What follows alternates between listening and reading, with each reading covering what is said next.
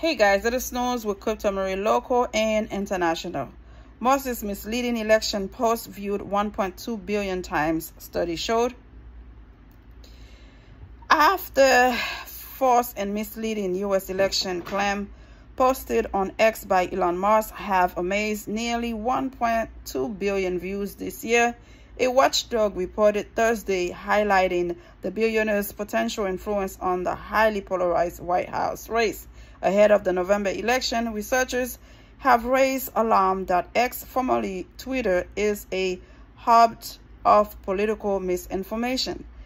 If you want to win, you got to allow the American people to vote for whomever they feel like is the right candidate that can guide this great country. But for you to mislead them, to give them the wrong information, to take them the wrong path, to act like they are registering and it's not true.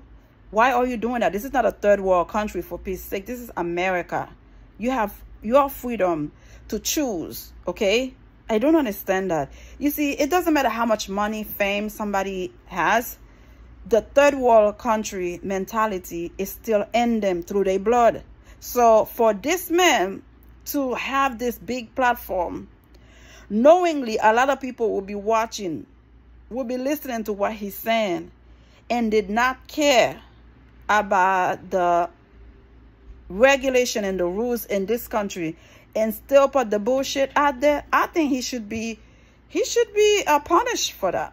You know? He's not doing a good job, you know, governing or controlling Twitter. I don't know why he called it X anyway. It's the worst stupid name he could call this platform. This man who sold it to him needs to take over and allow Twitter to be what it used to be. This man has a point of view. You can tell by looking at him, Elon Musk will never be okay with a woman in charge of this great country, not alone a black woman. Because in his eyes and his point of view, they think because they have money, they are above the law. So something needs to stop. Something needs to be done. Okay. Somebody needs to step in and let this man know this is not a third world country. This is not South Africa where he came from. He ain't done shit for them. America allowed this man to have the freedom financially he has right now. Have more money than people who actually probably was born here in America. This is how great this country is. If you have the brain, you have the mindset, you can make something out of yourself. Now he's trying to influence the result of the election. And you can tell, guys, the way J.D. Vance and former President Donald Trump speaking, you can tell those guys are doing something behind the scene allegedly. They speak as if they already won the election. It's already in their hands. Whatever they are doing behind the scene, whatever crooked action they are taking, whatever misinformation they are leading the voters to, it seems like they already have it at hand. They are the winner. So it, it seems like it doesn't matter how many people vote for VP Kamala Harris and Tim Walz. They got it already. This fool, J.D. Vance, went to Wisconsin yesterday where VP Kamala Harris airplane was landed. Following the VP. Stalked the, the VP. Like, what are you doing? This is elementary stuff. This is crazy.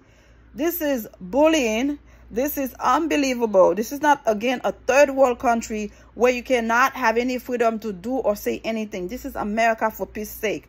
To see this grown, married adult men with children following the VP's airplane to say, well, I need to go sniff the airplane because they say they don't know what kind of stuff the VP could be doing with the Secret Service and the disrespect. The way they treating VP Kamala Harris, it seems that she's not even the current VP right now. It seems that she come out of nowhere. They chose her to be the the the candidate for presidential here in 2024, 2025. What are you guys doing? Why are you guys not trying to win in a fair and square election? Why are you guys cheating? Cheating is not supposed to happen here in America. You're supposed to allow people to vote freely. The mentality, the mindset of third world country people coming here in America, this is disgusting. This is outrageous. And I wish they could take a step back and allow people to vote for whomever they feel like voting for. We had this man in the White House for four years. The chaos, the disgusting, the outrage, sexism, racism, it was to its highest. We've had a peaceful four years. We would love to continue to have that. Now you want to take it in your own hands to say, you know what? I want this man to be in charge. Even though the man you want to be in charge cannot finish a full sentence. Cognitively, he's declining. His brain is not functioning. First, it was President Joe Biden. Everybody say, you know what? He needs to step aside. He needs to do something. He can't do it. Da, da, da, da, da. Thank you, God. He was a man enough, love his country enough to step aside and let VP Kamala Harris and Tim Walz taking over. Do you think your guy will do the same? Even though he knows he cannot do the job? Former President Donald Trump is infatuated with the size of the crowd. What is wrong with these people? He is comparing, oh God, Dr. Martin Luther King Jr.'s I Have a Dream speech with his uh, mega cult crowd people he had.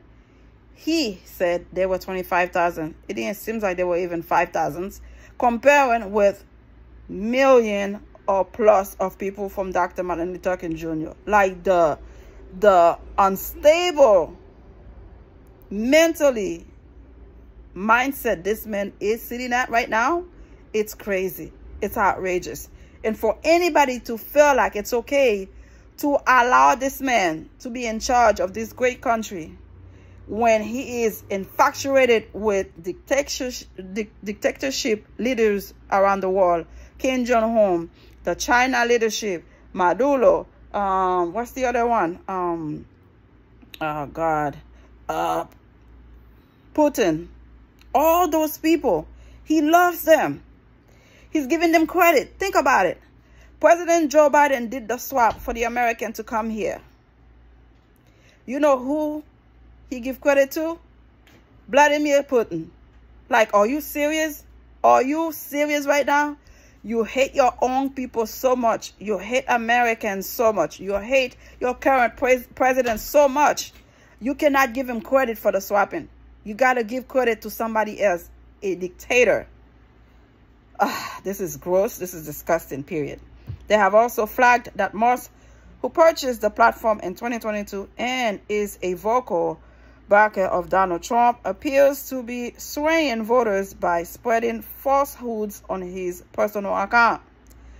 Researchers from the Center for Countering Digital Hate, CCDH, identified 50 posts since January by Musk, who has more than 193 million followers on the social media site, with election claims debunked by independent fact checkers. None of those posts display a community note, a crowdsourced moderation tool that X has promoted as the way for users to add context to posts CCDH said, raising questions about its effectiveness to combat falsehoods. Elon Musk is abusing his privileged position as owner of a political influential social media platform to sow disinf disinformation that generates discord and distrust one CCDH Chief Executive Imran Ahmed. Are they going to do something about it? Are they going to allow him to continue with that lies, with this misinformation before the election? They need to stop him. He's not above the law. They need to stop him. Enough is enough. Let the American people choose for themselves. You are misleading them. That's not right. That's not fair. Again, this is not a third world country. You should not be allowed to do that and it needs to be stopped immediately. Thank you for watching. Leave your comments. Bye.